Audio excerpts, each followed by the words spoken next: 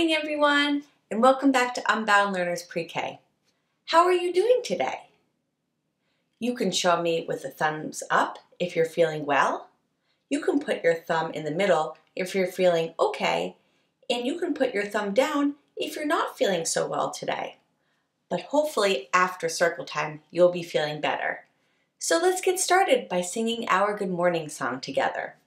Let's stretch our arms out like airplane wings and fly your airplane to one side, fly your airplane to the other side, fly your airplane to the middle and give a big stretch out in front like this. Now raise that circle up over your head and stretch to one side, stretch to the other side. One last stretch up at the top and bring your arms back down. Now it's time to sing together. Good morning, dear earth. Good morning, dear sun. Good morning, dear rocks and flowers, everyone. Good morning, dear beast and birds in the trees. Good morning to you and good morning to me. Good morning, friends. I hope that you're having a wonderful day so far. So before we get started with the calendar and weather chart behind me, there are three quick things that we need to do. The first thing that we need to do is turn on our listening ears, like this. And the second thing that we need to do is put on our thinking hats. Now a hat is something that you put on the top of your head. So take a look around the room. Can you find your thinking hat? My thinking hat is right here, so I'm going to put it on top of my head. And today my thinking hat has a Velcro strap underneath my chin. So I'm just going to Velcro it together. And the third and final thing that we need to do is warm something up. Do you know what we need to warm up? Our hearts. And we warm up our hearts like this. Boom, boom, boom, boom, boom, boom. And now we can get started with circle time. The first thing that we do is begin with the date. And we start off with the month. Do you remember what the month is? April! You're right. The month is April. And today is April 21st. So let's move the chip over from yesterday. Yesterday was April 20th. And today is April 21st. And right up here we have the year. Do you know one way that you can say the year? 2021. But you can also say that the year is 2021. Both ways are correct. Okay, friends, let me see your counting fingers like this. We need to warm them up and give them a big stretch before we count all the days that we've had so far in the month of April. But before we get started with counting, I think it's a good idea that we take a deep breath together. We're going to breathe the air in through our noses and out through our mouth, like this. Can you take a deep breath with me? Counting fingers are ready, and let's start off with the number one, two, three, four, five, six, seven, eight, nine, ten, eleven, twelve, thirteen, fourteen, fifteen, sixteen, seventeen. 18, 19, 20, 21. Whew, we counted 21 days that we've had in the month of April so far. But now we need to sing the Days of the Week song. So can you hold up your seven fingers like this? Because we have seven days in our week, we hold up seven fingers for the next song. If you know the words, you can sing along with me. It goes like this. There are seven days, there are seven days, there are seven days in a week. Sunday, Monday, Tuesday, Wednesday, Thursday, Friday, Saturday. Let's travel down to the bottom of the chart. This says that yesterday was, here's your clue, yesterday was Tuesday. So today is what? Wednesday. That's right, friends. And tomorrow will be, here's your clue, th. Thursday. Tomorrow will be Thursday. But let's go back to today and let's sing Today is Wednesday together. Today is Wednesday, today is Wednesday, today is Wednesday all day long.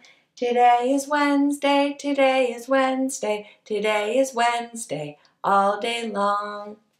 Let's go back up to the top of the chart. Right up here we have the season.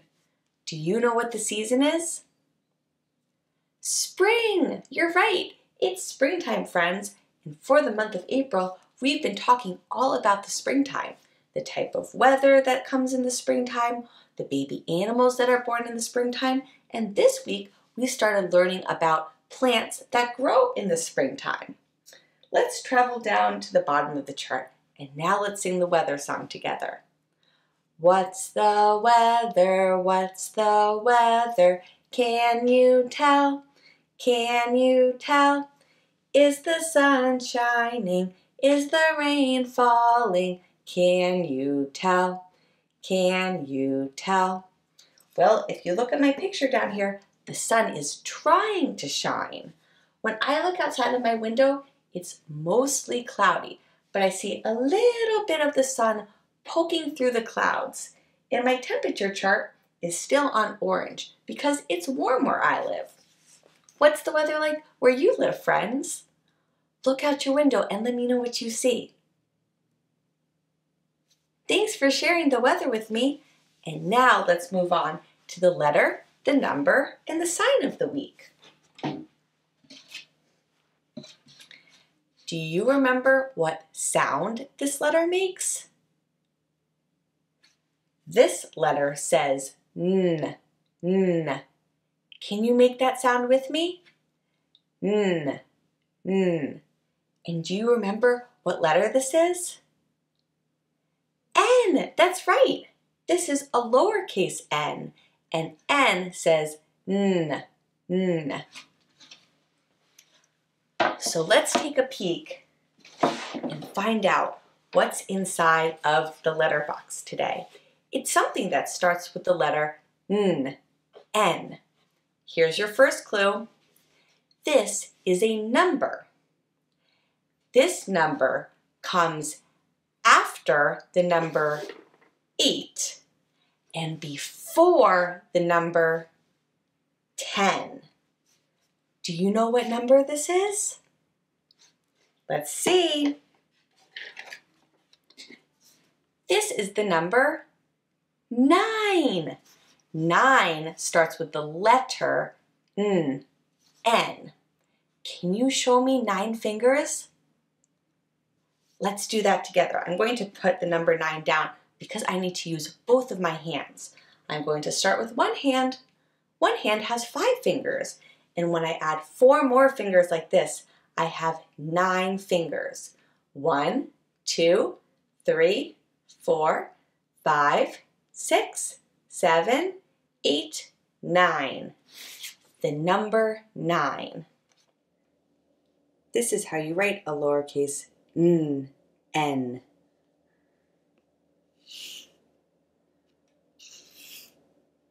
One more time.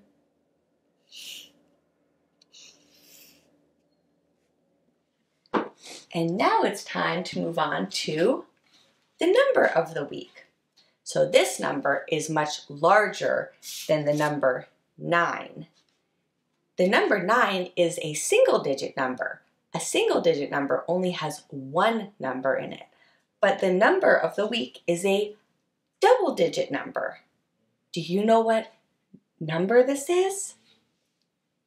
20! You're right. This is the number 20, and it's a double digit number because when you write this number, you write two numbers. Can you show me with your fingers what number you write first? Two! And after you write the number two, you write this number. This is the number zero. Zero. Two, zero. Twenty. I'm grabbing my piece of chalk so that we can count 20 tally marks together.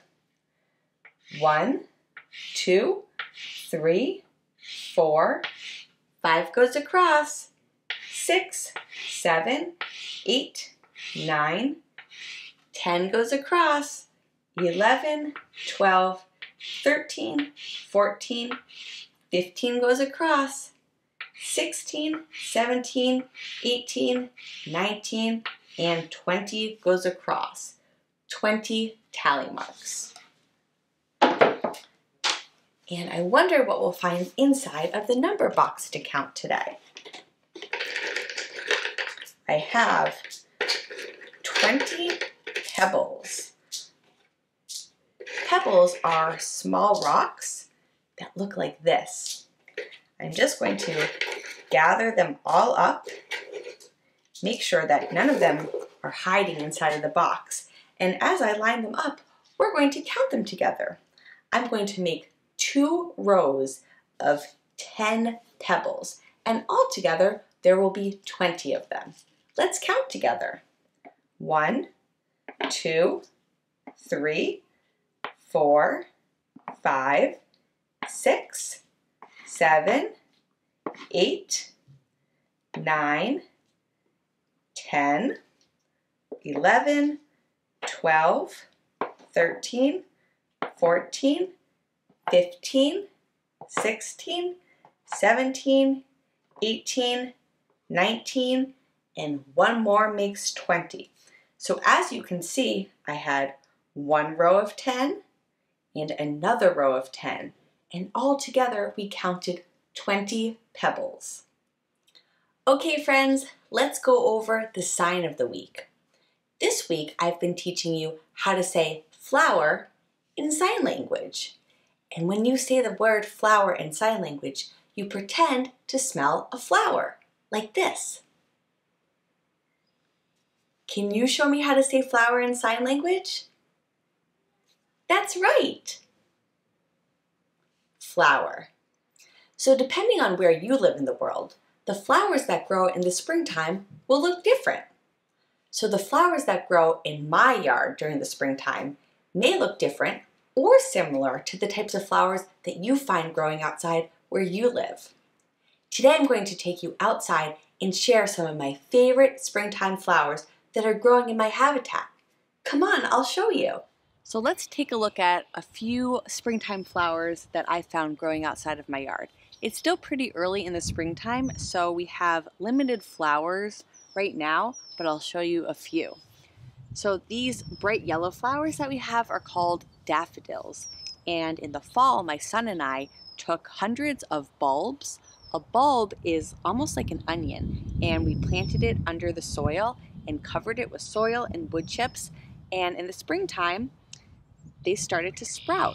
So as you can see, some of them are still closed in the bud, but these ones have opened up and you can see the petals and some of them have darker orange. It looks like this one is going to be white.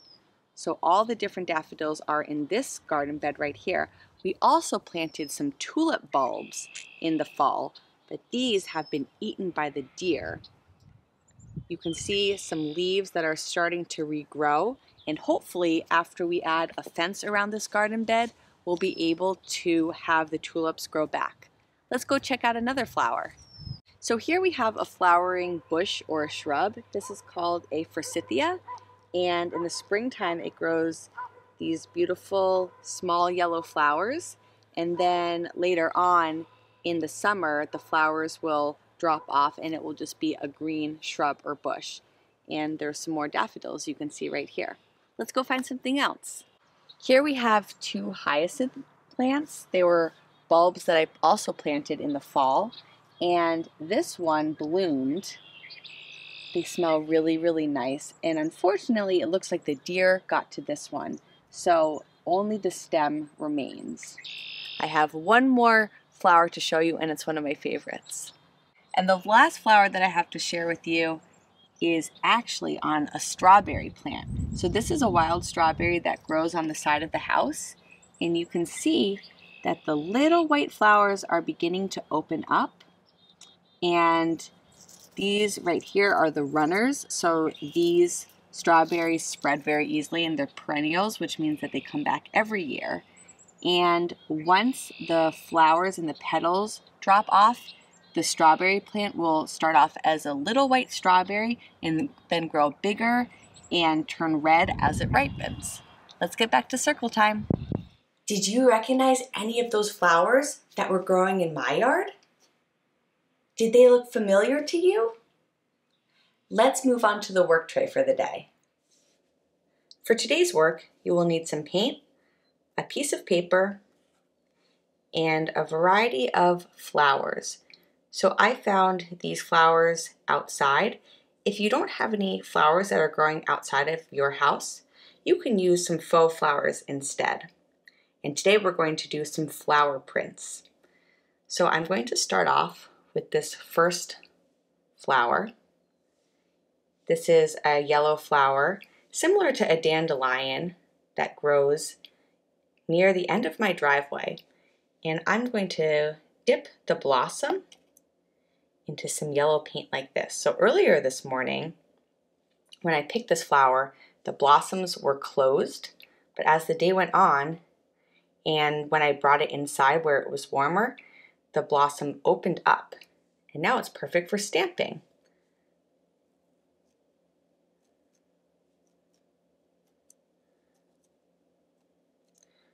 Ooh, so I noticed that it makes a better print the less paint that you use. So this one had too much paint on it, but these ones are clear and you can see it a little bit more. So there's a little advice, not too much paint. Let's try this flower. This is from a hyacinth. Hyacinth grow from a bulb. A bulb looks almost like an onion and I planted it in the autumn. And the springtime, it blossomed. They smell very, very nice. I'm going to dip it into the blue paint.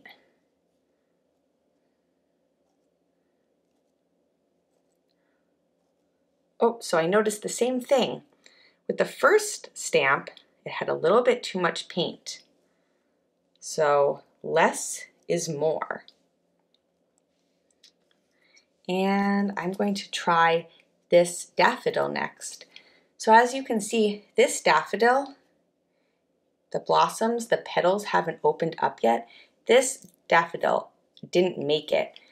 A few weeks ago, it started to grow and then when it snowed, it froze and it didn't last. So I found this one bent over in the garden and I decided to just use this inside instead so it, because it wasn't going to grow or open up.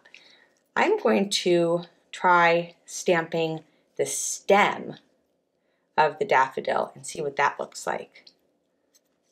Dip the end into the stem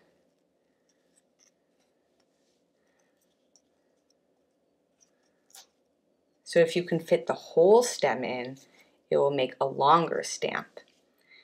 And for the last stamp, I have this small purple flower. This is an example of a ground cover.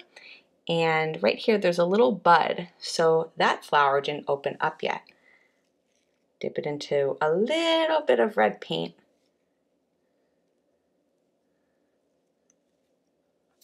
And there we go. We have a variety of flower prints. Let's get back to circle time. Welcome back to circle time, friends. Thanks for learning with me today. If you haven't already, please subscribe to my channel. Give this video a big thumbs up and find me on OutSchool for my live and interactive classes. You can also support my channel by checking out my Patreon page and gain access to bonus features for your child. Before we go, we have one last song to sing. Can everybody wave goodbye like this? Goodbye, friends. Goodbye, friends. Goodbye, friends. I'll see you next time. Have a great day, everyone, and I'll see you tomorrow.